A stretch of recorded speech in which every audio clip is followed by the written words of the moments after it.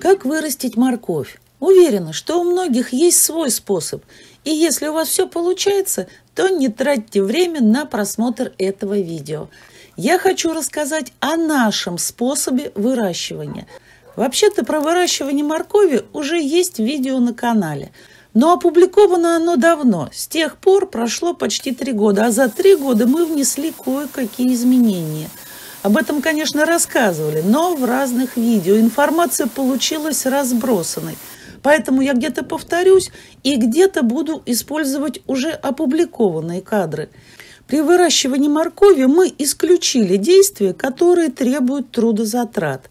Перед севом моркови мы не перекапываем почву. Мы почти не пропалываем морковь.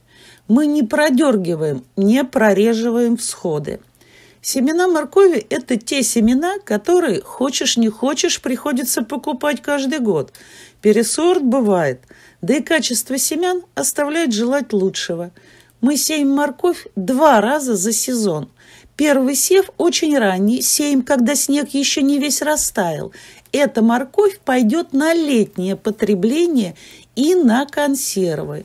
Подмосковье. Съемка сделана 27 июля – идет полная уборка урожая. Для раннего урожая сеем морковь с маленьким сроком вегетации.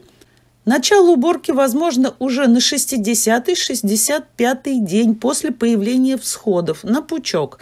Основной урожай на 80-85 день. Не нужно бояться, что при возвратном похолодании семена не взойдут. Ведь всем известно, что морковь можно сеять и под зиму. Второй раз сеем в конце мая. Бывает, что и в начале июня. Эта морковь идет на зимнее хранение. Тут можно выбрать и средний, и даже поздний срок созревания. Все зависит от того, когда вы убираете урожай. Мы убираем поздно. Морковь стоит на грядке до последнего. Съемка сделана в самом-самом конце октября.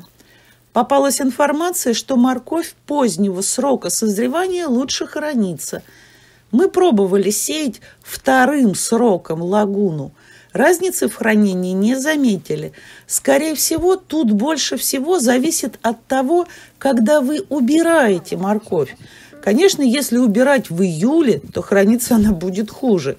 Мы сеяли поздно, а убирали в самом конце октября. И хранилась она точно так же, как и поздние сорта. Выращивание ранней и поздней моркови практически ничем не отличается, поэтому в основном я буду рассказывать про раннюю морковь, а где нужно, вспомню и про позднюю. Раннюю морковь сеем, когда уже снег лежит только местами. Зима сдает свои права, снег остался где-нибудь с северной стороны дома. Конечно, лучше, если остатки снега есть где-нибудь поближе к огороду. Снимаем прошлогоднюю мульчу, снимаем полностью. Что тут важно – мы выбираем место для моркови после той культуры, где в прошлом году было много мульчи. Это может быть капуста, могут быть кабачки или картошка. У нас происходит ежегодно не только смена культуры, не только севооборот, но и смена мульчи. Кто не смотрел, посмотрите, пожалуйста, это видео. В нем все подробно и понятно. Видео по ссылке наверху. Жмите на ссылку. Земля еще не прогрелась, ни о какой перекопке речь не идет. Здесь лед, поэтому делаем, насколько это возможно. Даже если это поздний сев, мы все равно не перекапываем. Существует мнение, что морковь не растет на суглинке, не растет на тяжелой почве. Это не так. Данное видео снималось не потому, что морковь без отбрасывания почвы не вытащить. Снималось, чтобы показать зрителям, как она растет. Ведь что происходит под землей, снаружи не видно. Кроме того, отбросив землю, можно сделать хорошее фото – как вы понимаете, начав раскопки, мы тоже заранее не знали, как это будет выглядеть. Так что растет на суглинке, прекрасно растет и без перекопки. Иначе мы бы ее не сажали, либо сажали другим способом. Бороздки можно сделать вот таким инструментом. На наш взгляд, это самое простое. Семечки моркови я сею по одной. Мне так удобней.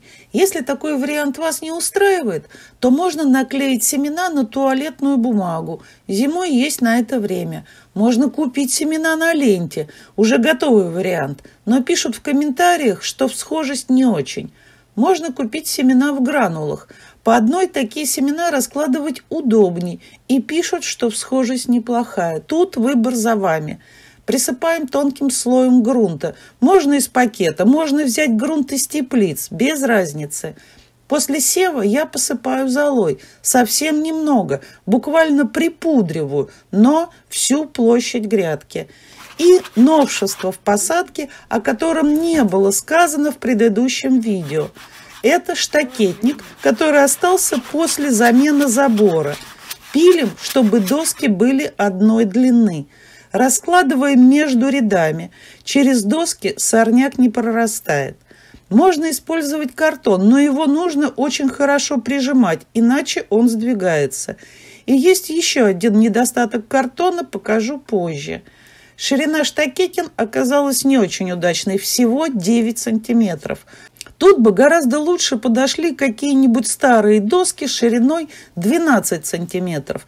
Тогда расстояние между досками было бы меньше. Но таких досок у нас под рукой не оказалось. Ширина между рядами моркови может быть от 15 до 18 сантиметров. Не нужно думать, что это мало, что не пройдут инструменты для прополки. Мы их использовать не будем. Далее мы засыпаем снегом. Трамбовать снег не нужно. И не нужно делать горку посередине грядки из снега. Рассыпайте снег по всей площади равномерно. Досыпать снег позже тоже не нужно. Ставим маленькие низкие дуги. Бывает, что воткнуть их в почву большая проблема. Далее мы укрываем снежный сугроб спанбондом. В данном случае это не для тепла. Нам совсем не нужно, чтобы снег быстрее растаял. Как это не покажется кому-нибудь странным, под укрывным материалом снег тает не быстрее, а наоборот, медленней, к чему и стремились. В семенах моркови содержатся эфирные масла, поэтому морковь сходит долго. Если не положить снег, то придется много поливать, чтобы избавить семена от масла. Эту работу за нас делает снег. Когда морковь зашла, то можно обнаружить еще один плюс использования досок в междуряде. Поливать по доске удобно. Вода не размывает почву.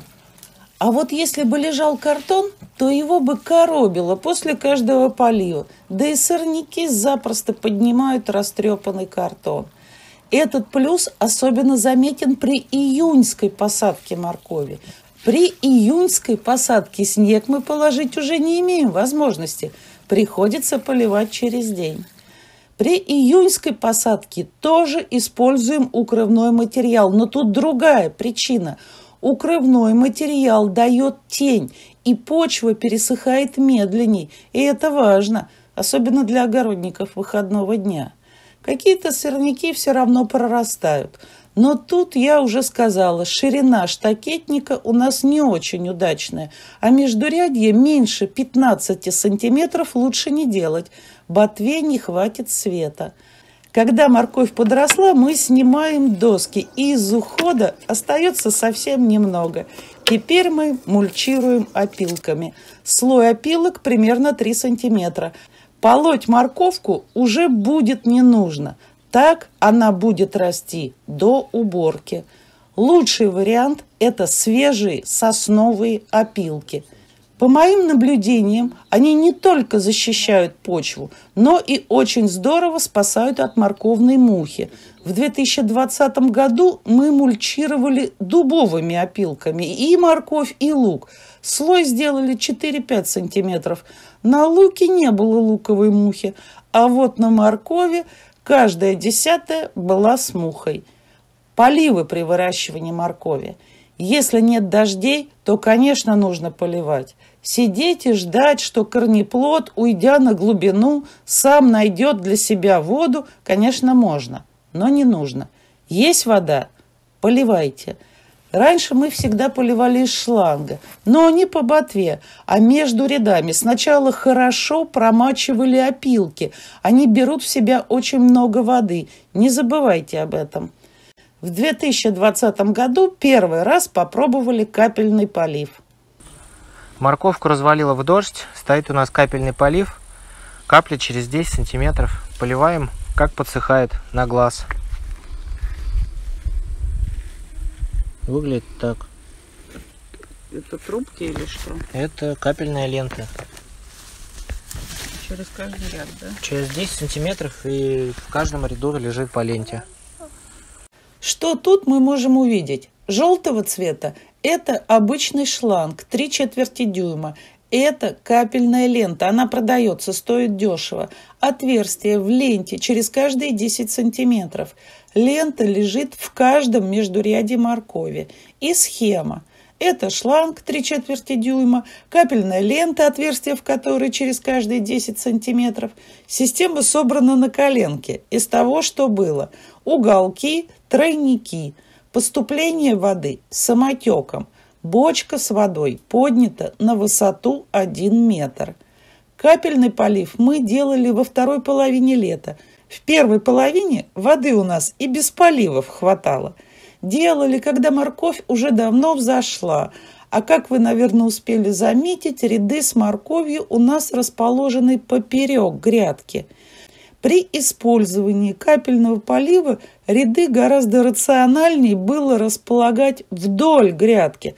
Тогда количество тройников потребуется гораздо меньше, соответственно, будет меньше материальных затрат.